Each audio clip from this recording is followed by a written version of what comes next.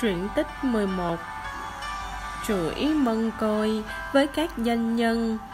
Khi nói đến danh nhân hay vĩ nhân Thì phải hiểu là những bậc vua chúa quan quyền Có chức quyền cao sang Hoặc là những lãnh tụ công giáo.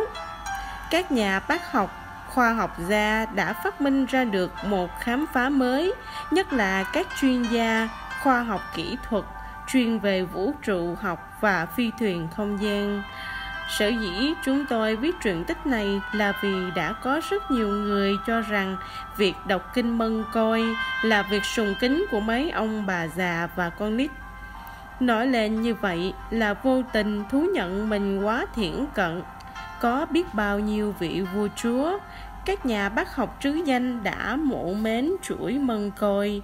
Nếu không nói là các vị ấy đã say xưa với việc lần chuỗi mân côi hàng ngày.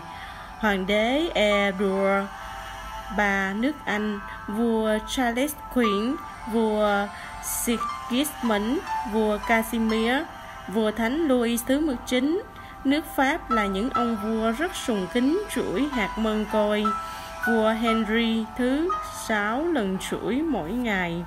Vua Louis thứ 14 là một ông vua nổi tiếng nhất nước Pháp, thường lần hạt trước mặt các quan đại thần. Một hôm, vua đang lần hạt thì có quan đại thần đến tấu trình một việc gì. Thấy vua đang cầm trong tay chuỗi mừng côi, ông không dám nói ra, nhưng nghĩ thầm, một ông vua lớn như vậy mà đọc các kinh tầm thường. Hiểu ý, vua trả lời khanh ngạc nhiên thấy trẫm đang lần hạt trẫm cho là một vinh dự rất lớn ngày nào trẫm không lần hạt thì ngày đó đối với trẫm kể là vô dụng Đức Giáo hoàng Leo thứ 13 là một vị giáo hoàng vĩ đại, hầu như lần hạt suốt ngày. Ngài thường nói muốn được ơn soi sáng để điều khiển giáo hội. Phương pháp linh nghiệm hơn cả là đọc kinh mân côi.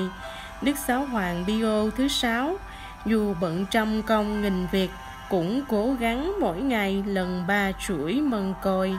Có một đêm, Ngài ngủ quên, chưa đọc đủ ba chuỗi.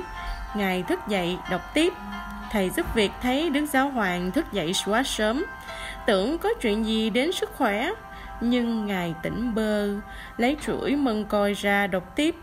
Đức Giáo Hoàng Pio thứ 12 vừa đi bộ vừa lần hạt Đức mẹ cho Ngài được thấy phép lạ mặt trời nhảy múa tại Fatima ngày 13 tháng 10 năm 1917, Ngài tại vườn hoa Vatican.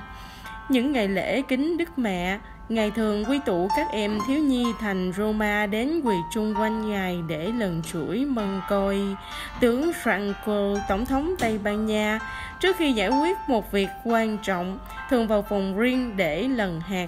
Các thiên tài âm nhạc Haydn và Mozart sáng tác những bản nhạc hòa tấu nổi tiếng, cũng tìm hứng khởi ở trong chuỗi hạt mân côi.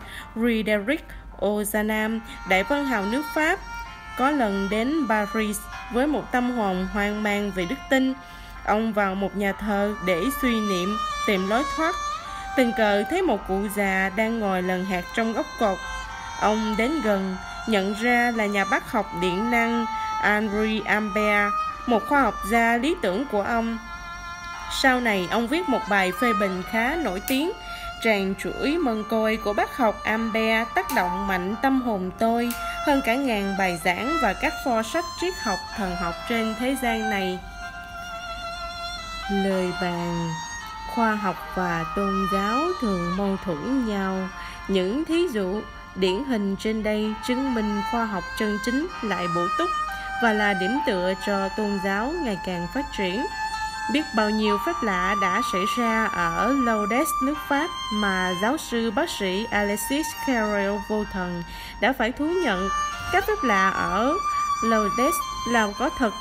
Sau cùng, ông trở lại đạo công giáo viết nhiều sách ca ngợi Đức Mẹ cũng như suối Đức Mẹ ở Lourdes tự nhiên chảy vọt ra từ gần 120 năm nay mà các kỹ sư địa chất đào bới vẫn không tìm thấy nguyên nhân và xuất xứ của nó. Có cả triệu triệu người đến kính múc mà vẫn không cạn. Amen.